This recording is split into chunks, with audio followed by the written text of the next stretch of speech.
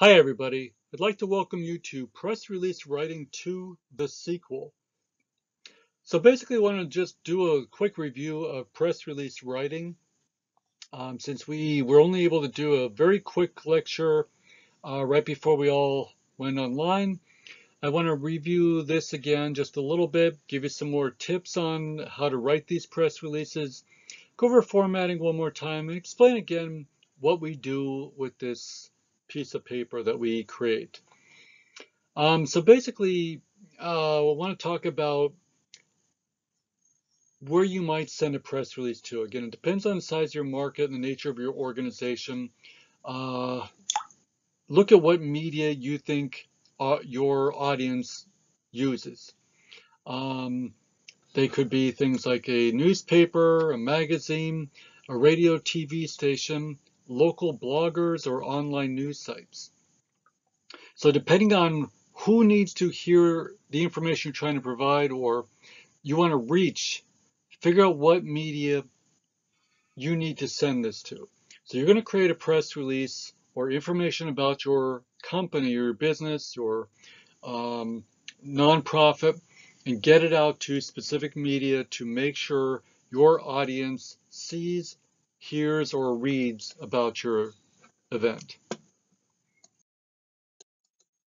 So knowing when to use a press release is just as important as knowing how to use a press release.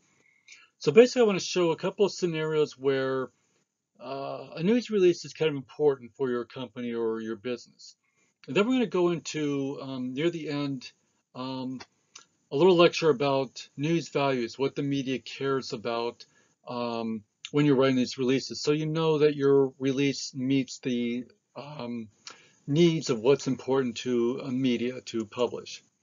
So it could be the development of a new product or a service that your company is offering. It could be a breakthrough in research or development, um, important new hire or a move in upper management. It could be a special event happening within the next few months or a significant recognition or accolade from an outside agency or organization, or something that's different or change in your business operations. So again, like it could be something new that your company's providing, a new product or a new service that you're offering. You might have a new cure for something or, or a new breakthrough for a, um, a medication you supply. Uh, you might have hired a new CEO or president and they've moved an upper or somebody uh, one of your VPs or somebody from below moved up to an, an upper position. Uh, it could be an open house coming in the next couple of months or uh, an event like that or a, an anniversary. You might have won an award for being the best of or a Reader's Choice Award or your company just got a uh, accreditation for something.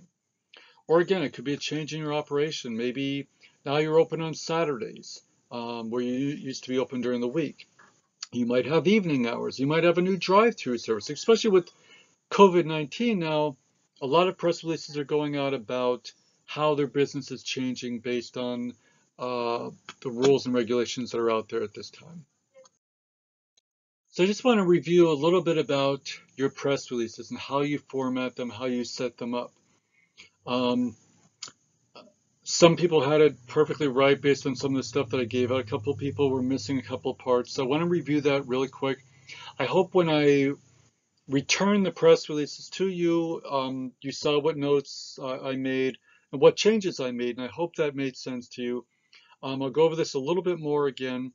And we'll also put a number of examples underneath this presentation for you to follow when you write another press release, which we're going to do for our next assignment. So remember again, to add your contact information either on top or on the bottom, make sure you write a good headline, make sure you add the date to when your release is going out and it says for immediate release, add your body, and if you need to, if your company, mm, people might not know what your company is or you're sending it farther away than your local area, put a boilerplate, which is a little summary of what your company is, like within a few sentences to a paragraph, if that makes so here's an example of a press release, just basically how it might look. So make sure, again, your date's up there, your name, your title, your phone number for day and evening, uh, an email or fax number if you need to have, if anybody still faxes. And oddly enough, we find that some of our media does accept faxes still. Uh, make sure you put your immediate release up top, write your headline, and we'll talk about headlines a little bit. Um, you can see Wilkes-Barre PA is up there, so there's a place it's from. Now, if it's a really, you're sending it to, like LCC might send it to Times Leader or Citizen Voice or WBRE, they know where we're at. So we, it's not necessarily a, we need to say where we're from. But if you're sending a little bit farther out regionally or statewide or even nationally, make sure you add your city in the beginning, in the state. So write your lead, make sure it's a good lead uh, that's going to make people interested and will con continue reading further. Make sure you add your story with the details, make sure who, what, where, when, why, how is up as high as it can be. We'll talk about that again in a second. And make sure you end it with the three hashtags or your initials. Something to show that the story is over, okay? So make sure it's basically saying, you know, add these little hashtags on the bottom. Use the inverted pyramid style. We talked about this uh, the, the uh, original class. Get your most important stuff up high. I noticed some people put like their date when we had the health sciences uh, open house. It's very important that people understand when it's going to happen, where it's going to happen, somewhere up top. So that way, if you lose interest halfway down, at least you know when and where it's going to happen. So if there's stuff in the middle that I don't care about, I may stop reading and then all of a sudden not care, not know where, where or when it, it's going to be. So get your who, what, where, when, why, hows up as high as you can. Within the first couple sentences, make sure that the most important stuff is put out there and then sprinkle your details in afterward. Make Andy proud. so basically, um, again, writing news release, it's really important to think and write like a journalist. Okay, you are a third party person. You're covering an event. You're a journalist for your industry or whatever company you're working for. Write like a reporter. When you're even looking for stories and stuff like that, make sure the stories are newsworthy, that a journalist would, would care about. Write according to the public or the writing style of the publication you're sending to. So pay attention to the, the uh, uh, the publications, the websites, places that you're putting these stories out or you hope will run those stories, follow them, read them, look at them, see what they say and do, and follow that style. So read newspapers and magazine articles, the Weekender, anything you can that you think your company might benefit. It might be scientific journals even. And watch network TV channels, follow their style. And we'll talk a little bit later on um, in the next couple of classes or two about how to write for broadcast. Uh, but basically, most of the normal uh, or the TV stations around basically will take our press release and write it in their own format. Um, they're a little bit of a different animal, but uh, feel free to write a press release in a style made for a, a TV or, or radio station. Okay, again, put your address up there and your name and your title, okay? Make sure it's somewhere that they can see it. Most people put them up in the beginning in the upper or left-hand corner, some add them at the end. That depends. Again, follow what that media person needs, so or that media uh, uses. So if they like it in the bottom or the end, great. They just want to be able to reach out to you if they need to reach out to you. Make sure your phone number is day or evening so that um, they can reach you after hours if need be. Okay, we talked about writing the headline for your news release. Make sure this is really important. Um, it's got to be attention getting, it can't be too confusing, not like the bottom two there, but more like the one on the right there.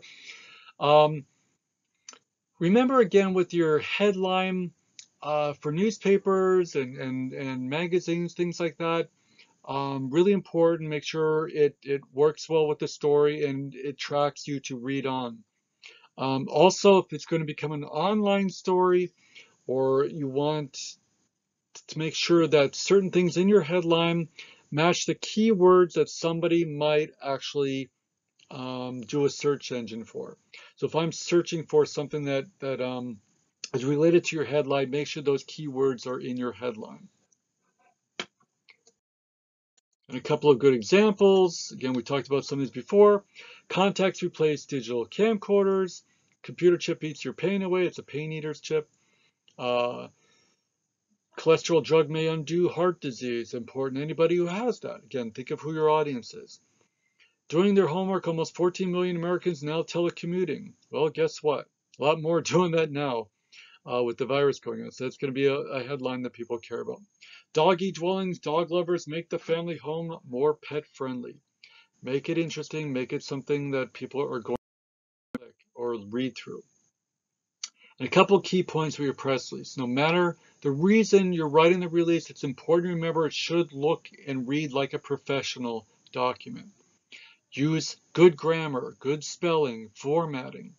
Um, it's important to write in a professional tone that journalists won't see as biased. They're not going to see it. You don't want it to sound like an advertisement. Um, avoid using exaggerated claims about your products and services. No exclamation points. We saw a couple of those in the original, um, a couple of those in the original releases that were sent. Do not use exclamation points. You are not shouting at people. You are a reporter. Okay. Avoid things like uh, the best, the easiest, the most luxurious, and so on. Those kind of uh, statements communicate bias and kind of a turnoff for journalists who basically want to determine for themselves the value of the product or service. Make sure you're not putting words in their mouth. You're not promoting something. The only way you can say something like that is if uh, um, you have it being as a part of a quote for somebody. But instead of saying things like the product is the easiest thing for consumers to use, say the product is designed with ease of use in mind. Okay? Don't make it sound like an advertisement. That's really important. Make sure you add quotes, add interest and authority to your news release. Quotes are important, especially when reporters can't maybe get that quote. Um, either they don't have time or they weren't at the event or something like that. You're giving them something they can use. And again, it gives some authority to it. Have your president, your CEO, your spokesperson, your customers, your doctors, and everyone can lend a touch of authority, or belief, or humanity to your story. So it's basically gives it a little bit of a sense that it's not sounding like a used car salesman giving you the story. Somebody else is telling the story or giving some credence to what you're saying, if that makes sense. So you want it believable. You want your story to be believable. So you're having somebody who's a, a larger than life or ahead of something basically saying, yes, that's true. and they may call you anyway for a quote or an attribution. And you can feel free to, to have them interview some. Okay, so hopefully that makes sense with press release writing and formatting. I'm going to leave a lot of examples and links underneath also to uh, just just help with putting that together and understanding how that's written. Okay, I want to talk a little bit quickly about online newsrooms. So once you create all these press releases and you're trying to get those out to people, and again, you might be emailing them, faxing them, mailing them, dropping them off, whatever, to get to the media to cover that stuff. Sometimes you need the media to come to you or want to come to you to get some of that information directly. So what you're going to do is create an online newsroom somewhere on your website that basically puts out all your news stories. It's basically the media's front door to your companies, where they go to get information. Great way to get some stuff immediately, to disseminate information to the media instead of trying to attach files and send them through the email or um, FTP things, which you know sometimes takes a little bit of time. They can come to you and get everything they need, hopefully and may not even ask you any questions. You provide them with multimedia messages and any other information that some examples could be streaming video or audio presentations, um, interviews, feature stories, webcasts you might want to do, uh, webinars, blogs, anything like that. You can stream some of these presentations that the media can watch or view. They can download it or pull some information from them. So maybe they don't have time to drive out to your organization or your company or your event. They can watch it in real time and report it that way. Um, it's also a great place to put printable things that the media might want. So your news release can be there that they can print out or copy and paste. Uh, white papers or backgrounders are basically background information on the product or whatever it is you're, you're promoting. Um, just get some history of how your event or your product came to be. Uh, you might put up articles from other places that have been written about whatever you're promoting. Annual reports that you might have, magazine articles um, from other places that have told about how great your product or whatever you're giving away might be. And again, photographs and video is a great place to download. Things to include in your online newsroom, contact information, very important. How do I reach you? And there should be links there that you can immediately email or call you from. All your media releases, or your press releases can be there. Your photos or executive photos even of, of uh, CEOs or presidents if they need a, a, a, photo right away. Pictures of your products um, or your places of, of business. Um, charts, graphs, anything like that that shows your progress or numbers and statistics. Again, I said background is in the history of your organization, facts and figures, any stats, numbers that you want to promote or put out there. Uh, demonstrations of your product, something showing how something, how your product is, de is designed to work. Um, so they can maybe see how it operates or how it might operate. Put a search tool so that the reporters can find what they're looking for. And reports, financial information, um, video content is really important too. They might want some background video. I might want to see what my campus looks like. I want to might see where, um, you know, some of our nurses working in a lab, that kind of thing. Uh, biographies of, of any people we're talking about, speeches that they've given, uh, maybe they gave a speech, but maybe they watched a speech, but maybe want the um, printed transcript of that speech. Well, here it is. They can take it and, and quote from it if they want to.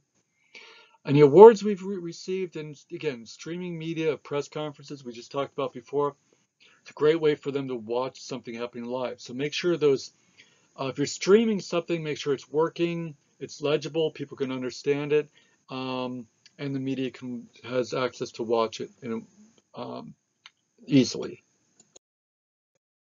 A couple surveys that were done on online newsrooms um, with journalists in mind. 93% visit them on a regular basis. 29% visit almost every day. 79% visit um, newsrooms from small and medium-sized organizations all the way to giant corporations. 100% believe that it's important to be able to access PR contacts. So make sure again you have those contacts up on your on your on your website. 88% believe it's important to access your history, your background information, your awards, your, your papers within the digital newsroom.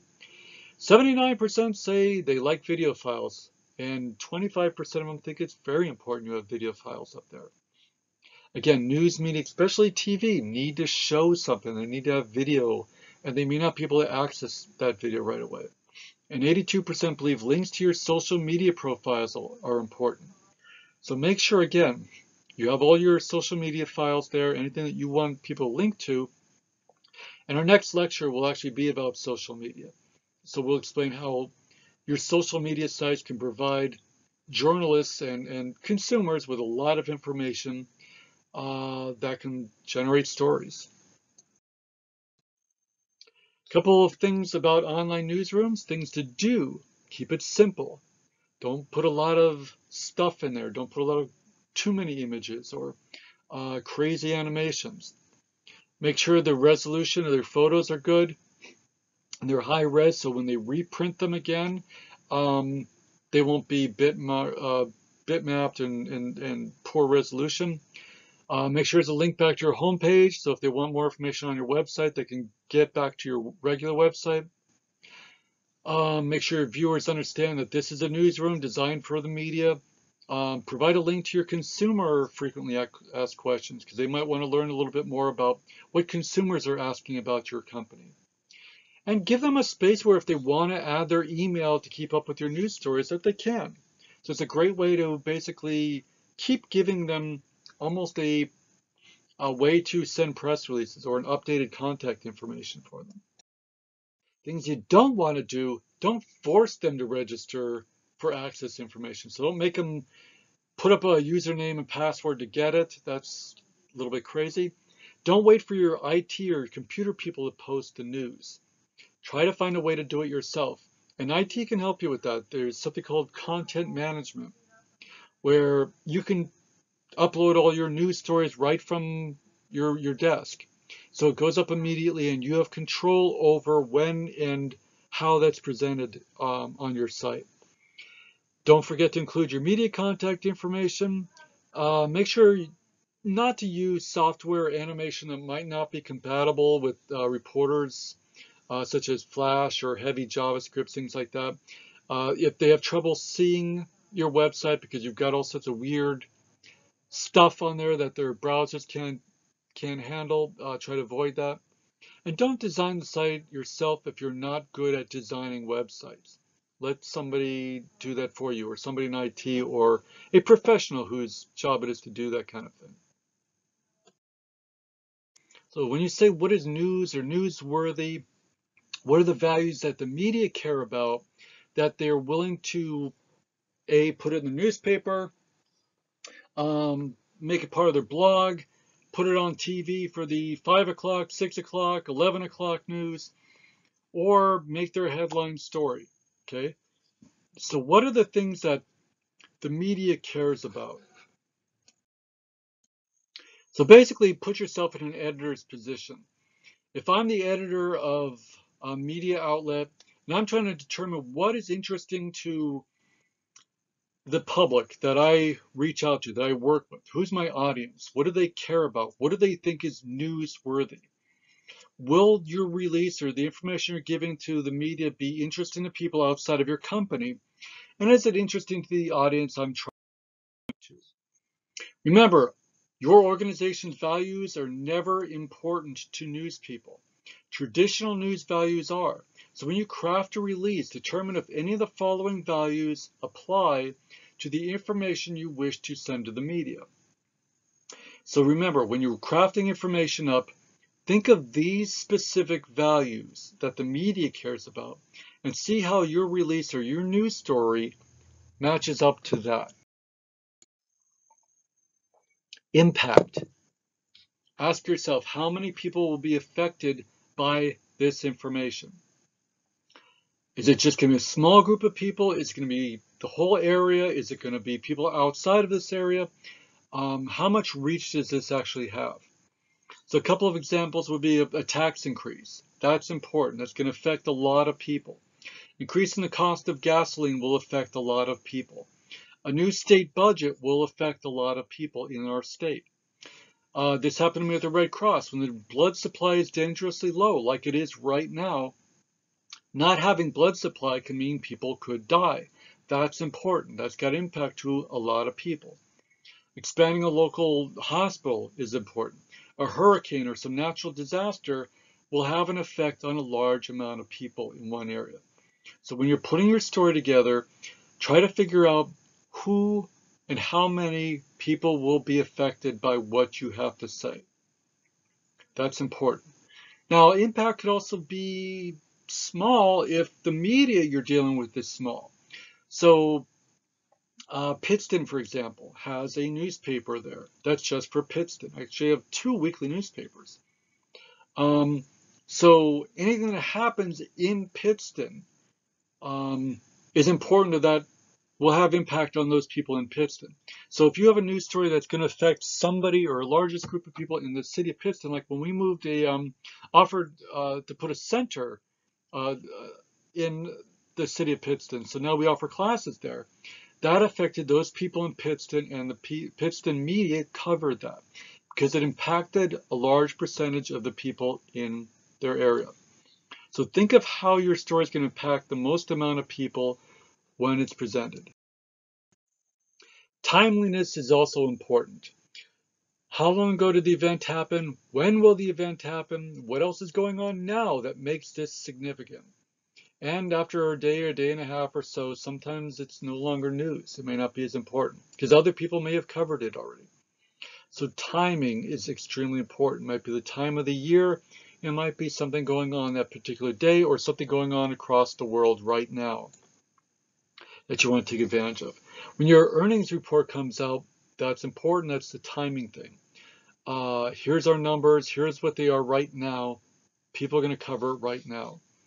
Holidays like Christmas and Thanksgiving. Your top 10 list is important. Top 10 toy list, I'm sorry, is important at Christmas time, not in August or September. Um, Butterball Turkey actually has a 1-800 number. You can call them during Thanksgiving if you have questions about your turkey. If you're not sure how it's cooking right, or if it's defrosting correctly, or if you're using the right ingredients. There's literally people there at the butter uh, Butterball company that will talk you through it. Um, tourism in Ireland escalated after the Star Wars movie. So in the second and third movie, there was an island that you saw that Luke Skywalker was on that um, Rey went to to go visit. A weird shaped island in the middle of the water. Um, a lot of steps to climb up. That's an actual island. It's called Skellig Island and it's outside of Ireland. It's an old um, monastery that's on top of it. So all those stairs you saw on there, um, on the island that you had to walk to get to the top to meet Luke, that's all there. That was a real place. Um, so after that movie came out, or those movies came out, people were flocking to Ireland to go to this Skellig Island. Same with Lord of, Lord of the Rings. A lot of the scenery in there, the mountainscapes and things like that, were actually in New Zealand. And so the New Zealand um, uh, tourism shot up because of that. Look at The Office. The Office TV show is supposed to be based in Scranton, PA. So now Scranton, PA is on the map. Not that a thousand people were coming to Scranton to go see it, but you know, we sold artifacts and stuff for people that did come here that they wanted to buy. You know, buy mugs and office stuff like that uh, up at the East Town Mall. Nurses Week is every May, uh, first week of May, uh, in celebration of Florence Nightingale's um, um, Nightingale's, I'm sorry, um, birthday. And so we try to use that time to promote our nursing program, to say thank you to nurses out there in the area, to put up some billboards saying Happy Nurses Week. Um, Walk of Honor we have across the street from the ATC. That's a memorial to fallen first responders, firefighters, police officers, that kind of thing. Every 9-11, uh, we do a ceremony there. Uh, we have an artifact from the World Trade Center. And when we have that ceremony, it's, it's very, we get a lot of um, very professional, very regal, uh, a lot of speakers, a lot of stories are being told. Um, there's a ceremonial bell that's rung, the firefighter trucks are there, there's flags being raised, bagpipes. Perfect for the media to cover. A lot of visual items there, a lot of um, video that they can shoot. There's a lot of stories to be told. Um, and it makes for good media stories, and they usually cover that every every year. Uh, Earth Day or any other day, um, you can always come up with different stories or things to write about. I subscribe to that um, weird holidays or days of the year, which provide all sorts of weird um, named days, such as like chocolate chip cookie day or uh, donut day or hug a friend day or uh, man's best friend day or something like that. Um, all these weird events are days that are designed to attract attention to something. And if you could tie your organization into that, like if it's chocolate cake day, um, we always put up a recipe from our culinary department of a chocolate cake recipe that people can watch, follow, and, and download. So anytime you can kind of tie into those weird days of the year, that's a great way to show timeliness. Um, prominence is another thing. Um, anybody that's prominent people, even those doing trivial things, are the are, are the news. Um, they could be politicians, celebrities, um, sports figures, all the way to CEOs and organizations like Exxon, Walmart, Nike, um, things like that. Anywhere there's a prominent person that's involved, if you have them as part of your news release or event or whatever, the media will cover them. Remember we talked about ribbon cuttings and stuff like that. We always wanted to have the mayor there or a legislator there or your president of your organization or, or CEO at that event. They're prominent people. If you can get a celebrity there, even greater. You'll get more news coverage. So a couple of examples might be a presidential candidate or nominee can visit the area. Um, that'll bring a lot of attention. Uh, Kim Kardashian a couple of years ago just got, got robbed. Almost anything Kim Kardashian or her family does winds up being news for some reason. Because she's a celebrity, she's an influencer, a lot of people pay attention to her brand and what they do. Um, Yudichak, one of our local um, politicians, had a, a veterans ceremony at our Walk of Honor. So basically, he was giving out ribbons to um, honor Vietnam veterans. So the media came and covered that. It was very touching. It was very uh, picturesque. Um, and again, you had a, a fairly well-known politician helping veterans in our community. So again, if you have a celebrity show up for an event, a politician show up for an event, that will bring news. Even our graduation speaker. Depending on how popular they are or newsworthy they are, the media will ask to interview that person. And they might become the center of your graduation story. Um, we've had politicians come to that. We've had some couple celebrities show up for those. Um, we've had people who've survived um, major um, injuries from the Iraq War. Um, any kind of a, a good story or a prominent person will get attention from the media and they will cover your event. Proximity, how close things are, are really important. So news that happens locally, more people pay attention to than things that are farther away. Um, if there's a, you know, a, a, a robbery or something in Bosnia, we don't care so much about that kind of thing. But we will care if it happened on the street next to ours or in the next town next to ours. Um, so we care more about things that are really close to, to us. So if we can, A, if it's a local thing that we can really promote, the media will cover that. If it's a international or national story that we can kind of bring locally, like uh, a veteran coming back from the war comes back home to meet his family. That's a, a story about you know the war going on, and here's our soldier came back to our hometown again. That's that's the type of story that goes on. So a le le local legislators say something bad about the budget, or rip it apart, um, that's bringing it together, a local view of something that's going on at a statewide level. Um, there was a one of our faculty members, Jim Gavanis, um, he took a picture of a famous blues man um, that was going to be featured at the Grammy Awards, who had just passed away. And his photograph was going to be in the show and we sent up some releases and stuff saying, hey, by the way, they're going to talk about one of our professors' photographs being used at a, a national, international, basically TV show, and we got a lot of good co press coverage of of him watching the Grammys and telling the story of why, how he took the photo and a little bit of a biography that the, the gentleman that, that passed away. Okay, so again, even things like our uh, roundabouts that were being put in the expressway coming into the campus. That was a good local story that was happening nearby. Again, if something happens in Luzerne County, people in Lackawanna County, the media there aren't going to cover it or don't seem as it's that important unless it has effect on them. Even with our graduation class, we have to say the names of the local towns that our uh, graduates are from. So when we send it out to Berwick or Bloomsburg, like the Press Enterprise newspaper, we're only giving them the list with people from that area because that's the ones they will publish. Um, locally, we put them all in, but when they go out to the smaller towns or farther away, we break that list down to smaller groups of people based on the areas that they're living in. Another key value that I really like are the unusual and bizarre stories the out of the ordinary story that generates some kind of an interest. Do you ever look at those hyperlinks that have some weird, crazy headline or title that you just have to watch or click on to learn more about?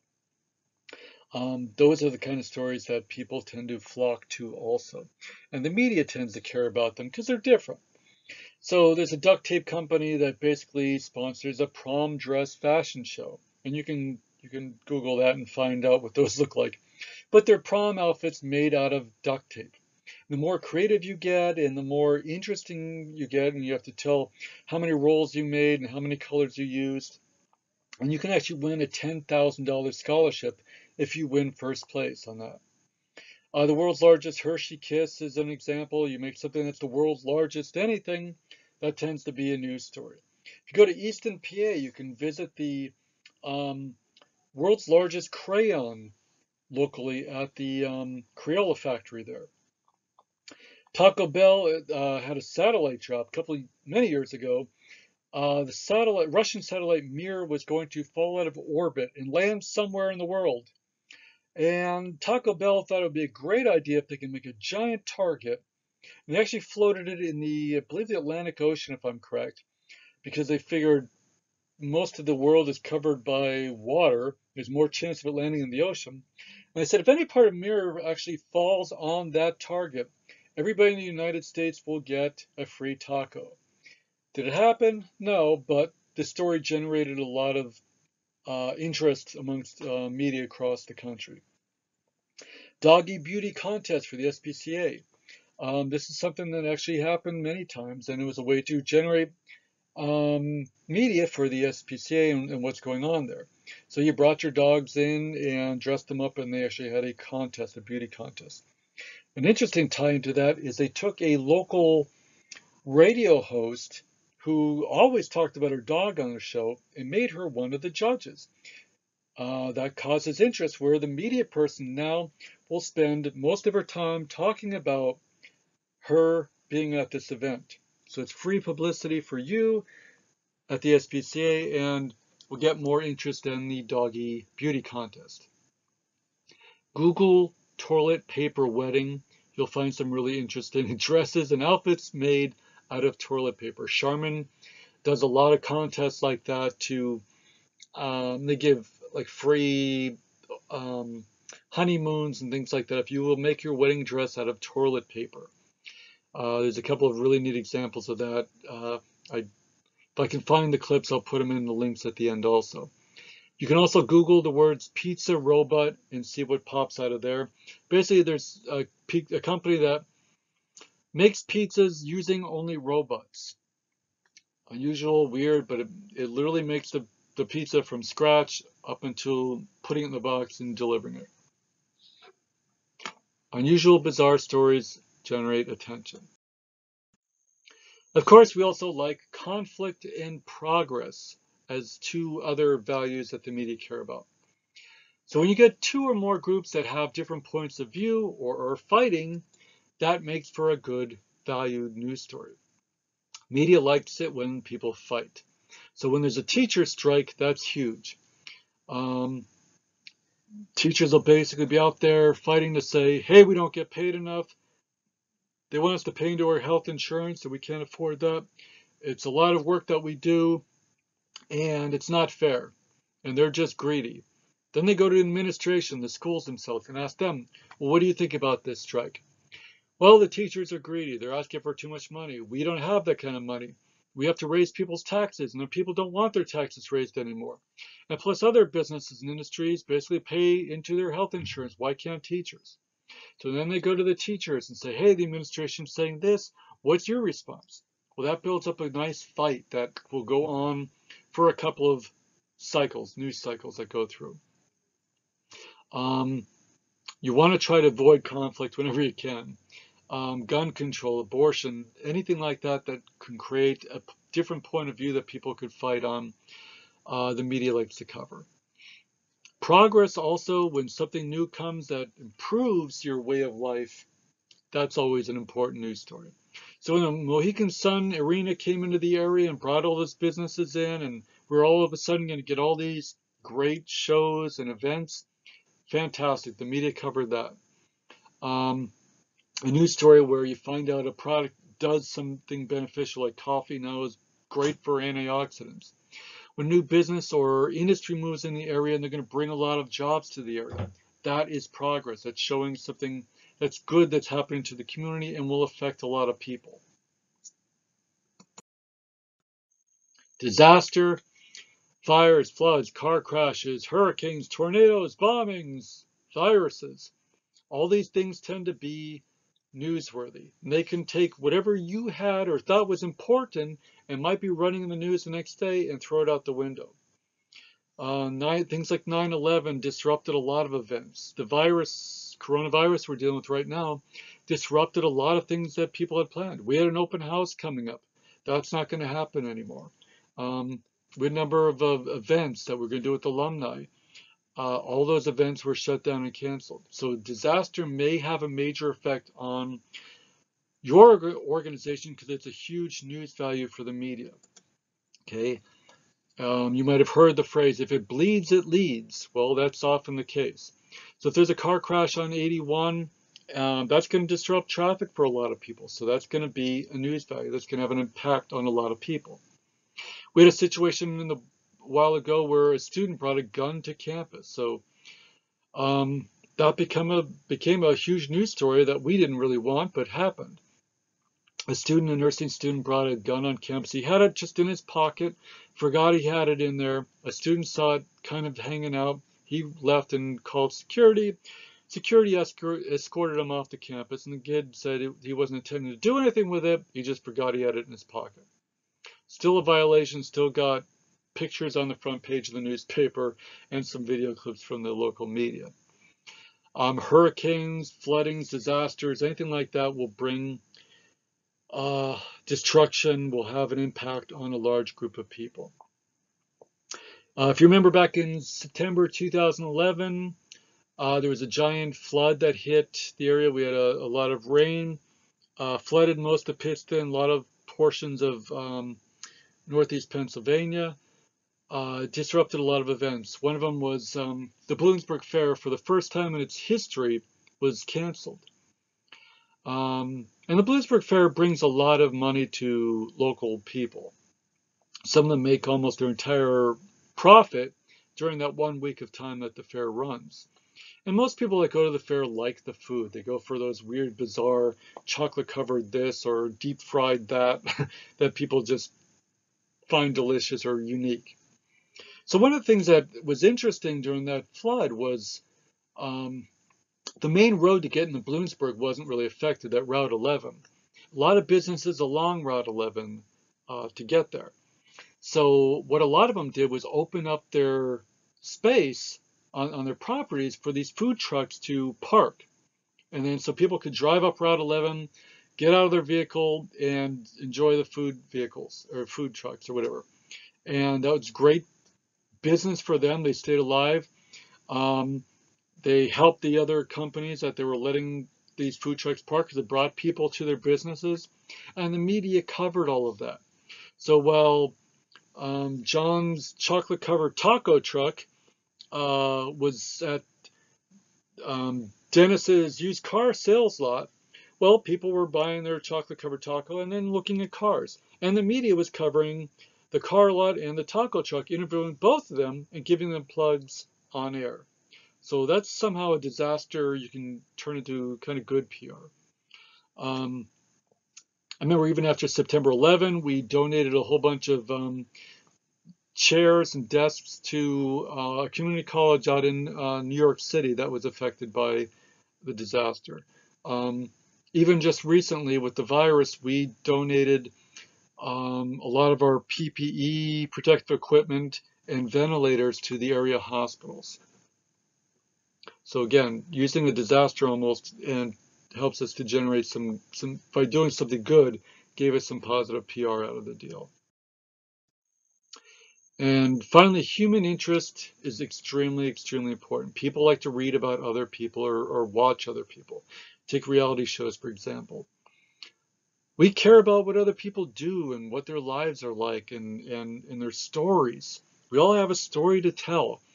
And uh, it might be somebody who's very similar to us. We, sometimes we just need validation that the things we're doing are make sense or are normal. We also like to hear about people doing extraordinary things like celebrities and, and, and living lives that we may or may not always get to see. Um, one of the interesting things when I was with the Red Cross, we had a four-year-old girl. Uh, she was a blood recipient, uh, needed blood transfusions every month because she had a disease called, I believe it's called thalassemia. And I would take her and her mom to a couple of blood drives and um, they'd walk around and, and she we tell her story and she would thank all of the donors there uh, because every month she needs a blood transfusion that she has to drive out the her mom has to drive her out to Bloomsburg. Uh, near the every three weeks she's fine, and then the fourth week she starts to get really tired and listless and not feeling well. Her mom, who's a single mom, has to drive her from Wilkes-Barre to Bloomsburg to the Geisinger Hospital so she can get a total blood transfusion, which takes almost all day to do. And she's going to need that every month for the rest of her life. And this this girl is, is adorably cute, would walk up to people, like I said, and, and just thank them. And that just made everybody feel important at that event and, and kept them coming. Um, story you can probably read about anything in Orange too is, is clickable. You can find on online.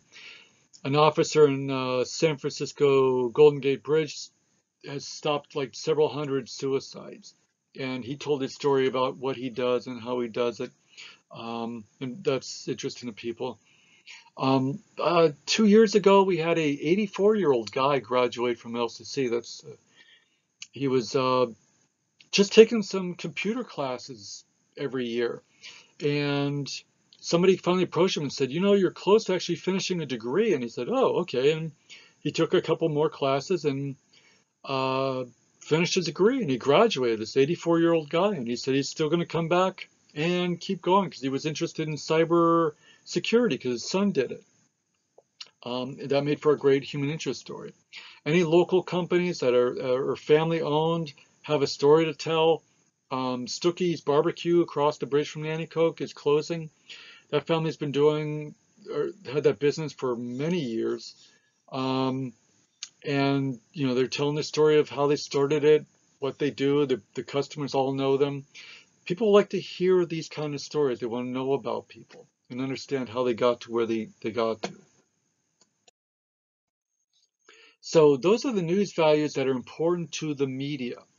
And you can create other things also that are to, to create news that are important to the media. Event situations, what we call the pseudo event, which really don't always do a lot, but they can kind of generate press coverage. You know, a special event like an open house or a celebration or an anniversary, a contest that you might be holding, a top 10 list that you put out there, polls, surveys that you have results for that maybe might be interesting in the media, uh, product demonstration of something new or innovative. Uh, PR stunts, which you guys talked about in the first um, uh, um, assignment that we did. Rallies and protests, anything that goes on in public square or events or walks or runs.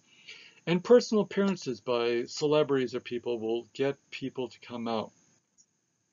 So those are just different ways that we as PR professionals try to get the media's attention and the public's attention to something put out there.